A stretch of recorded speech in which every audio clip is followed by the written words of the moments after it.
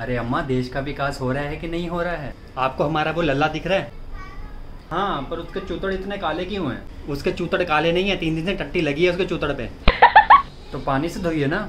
कहाँ से आएगा पानी? पाँच बजे पानी आता है साढ़े ग्यारह बजे आप बिजली भेज देते हैं। फिर आ जाते हैं हमसे पूछने के लिए कि देश का विकास हो रहा है कि नहीं हो रहा है। और पर अम्मा। अरे विकास तुम्हारे पति का नाम है हमसे बहुत तो झेला जा नहीं रहा और आप देश के विकास की बात कर रहे हैं। लगता है अम्मा आज गुस्से में है। अरे अम्मा गुस्से में नहीं है जब उसके लल्ला के चुतड़ छल जाएँगे तब पानी देंगे आप। अरे यार इनको पीने का पानी दो यार, पूरे इंटरव्यू में टट्टी कर दी इन्होंने।